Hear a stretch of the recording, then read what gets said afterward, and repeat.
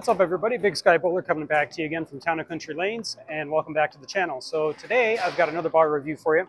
We're going to be taking a look at the Big Bro Assemble. Now this ball is not yet available. It's coming out very soon though on the 15th of September. So I definitely want to show you guys what this ball can do. Now this particular ball in 15 pounds is 2.506 RG, 052 differential and 017 intermediate differential. It is a solid cover stock, and it's another great release in our Big Bro line of balls. I throw 14 pounds, so the RG is going to be slightly higher with the differential and the intermediate being roughly the same. So the RG on my equipment is 2.528. It just gets it a little bit further down the lane, helps me kind of shape the ball because I am a two-hander. I have, of course, a release that has very low tilt, so I have to battle getting the ball through the front part of the lane. All right, and here she is, the Big Bro Assemble. Now you can see that this ball is a little shiny, at least right now. It's because I brought the surface up. I did a short on my channel actually just yesterday where I threw this ball at its out of box 2,500 grit surface and it was very strong on Town & Country's house shot. So for the sake of the ball review, I brought the surface up because I want to show you what this ball is capable of as a solid cover stock ball. And with the house shot out here being burnt up from yesterday, you know, it's not really going to do the ball very good justice having it at a 2,500 surface when there's not a lot of oil left out there. All right, so as always in these reviews, we're going to start with more of an outside shot. So for me, that's 25, looking 8 to 10 at the break point, 14 to 15 at the arrows, and make it 13 to 14. And of course, I'm going to flatten my release a bit here. A little bit of a double dribble. There you go. So you can see with that little bit of shinier surface, the ball is getting through the front in the middle part of the lane pretty cleanly. It's uh, retaining quite a bit of uh, energy for the back part of the lane. Now, I just did a bar review on the Blizzard Glacier and throwing that outside shot with the lanes how they are right now isn't really a good idea, but you can kind of see if there was some volume out there, that ball picks up a very decent roll and it would hold its line to the pocket. I'm gonna move left, five boards, so we're standing 30 now, same area at the break point. And we're looking closer to 15 at the arrows now.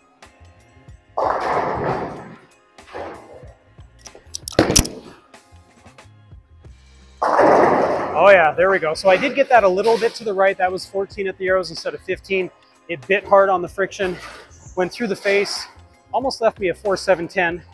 I'm gonna try that shot again, be a little bit more accurate this time move my eyes left.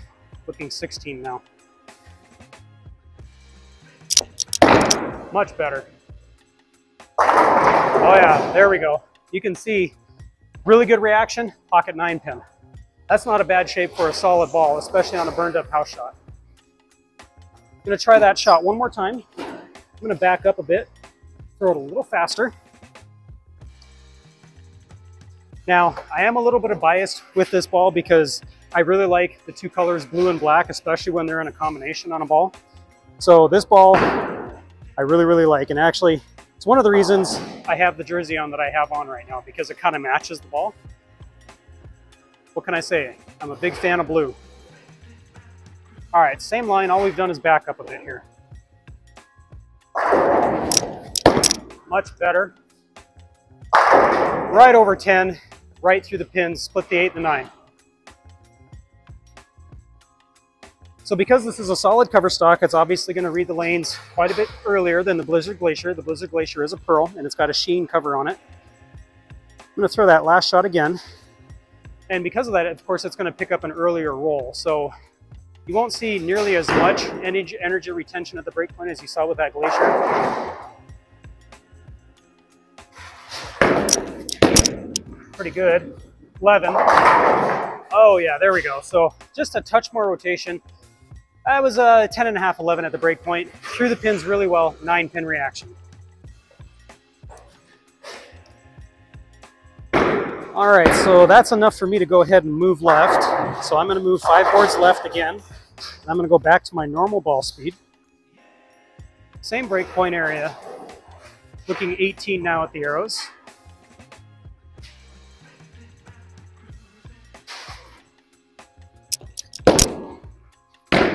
Good. Oh yeah, I like that a lot. I did miss it a touch at the bottom, but I had just enough of it. I hit nine and a half, 10, through the pins really well, split the eight and the nine. All right. I promise I'll make a better shot this time.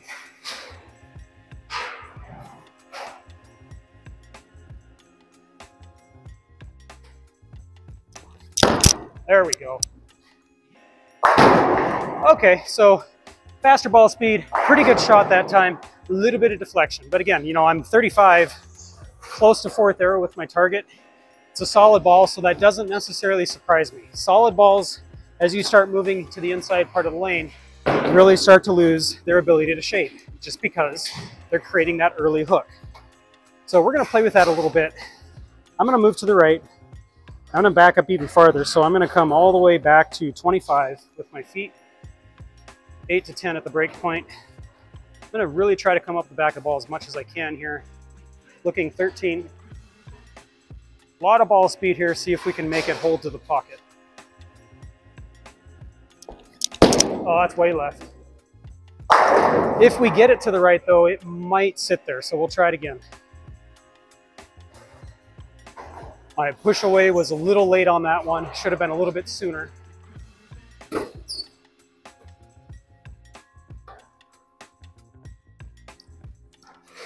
All right, so again, we are standing 25. Target at the arrows, 13, out to 8 or 10. Two board zone.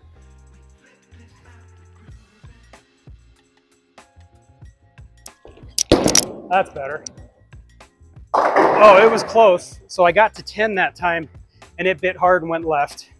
Or try it again. Maybe look a little bit further to the right with the eyes. Get it to the right of 10. It tried to hang on.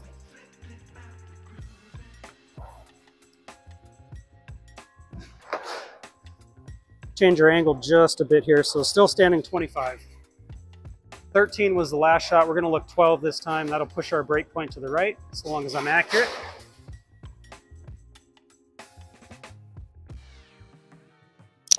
A little bit of loft.